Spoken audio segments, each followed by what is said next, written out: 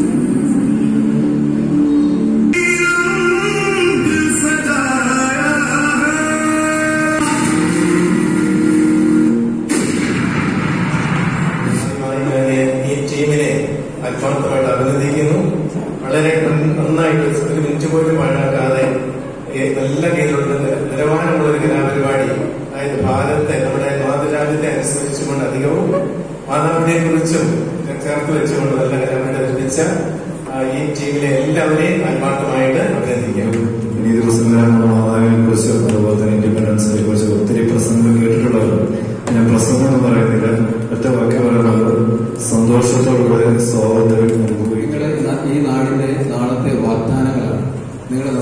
പഠിച്ച് ഉന്നത സ്ഥാനങ്ങളിലെത്തി ഈ നാടിനെ നയിക്കേണ്ടവരാണ്.